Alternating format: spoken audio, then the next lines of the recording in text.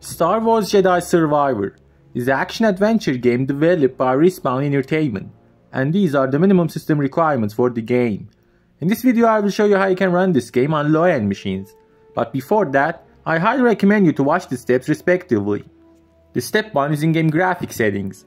As you see, I'm getting only 17 FPS, and this is not playable at all. First, go to the graphic options and set everything to lowest possible. You can copy my settings. Set the resolution to 1080p and window mode to full screen. Set the graphic quality to custom and the remaining settings to low.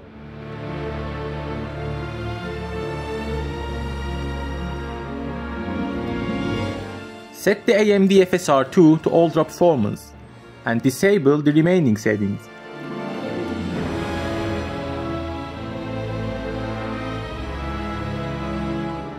Now I'm getting between 40 and 45 FPS.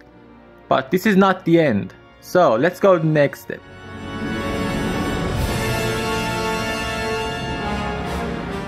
The step 2 is Unreal Engine 4 Unlocker.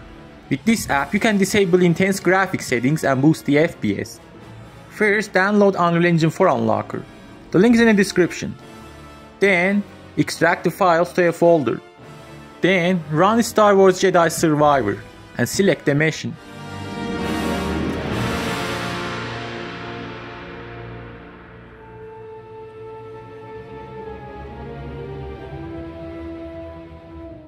Now it's time to run UE4 Unlocker. Select Star Wars Jedi Survivor, then click on Inject DLL.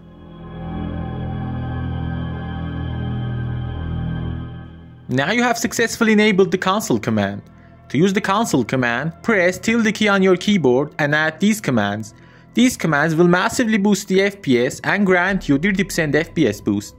About the command with red color, use it only as a last resort.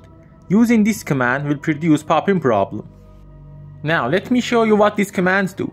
The commands disable shadows, fog, bloom, foliage, ambient occlusion, and anti-aliasing.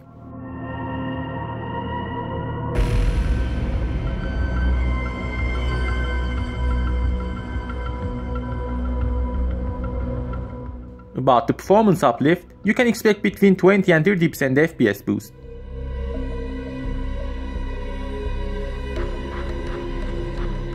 Star Wars Jedi Survivor is another disappointment for PC gamers.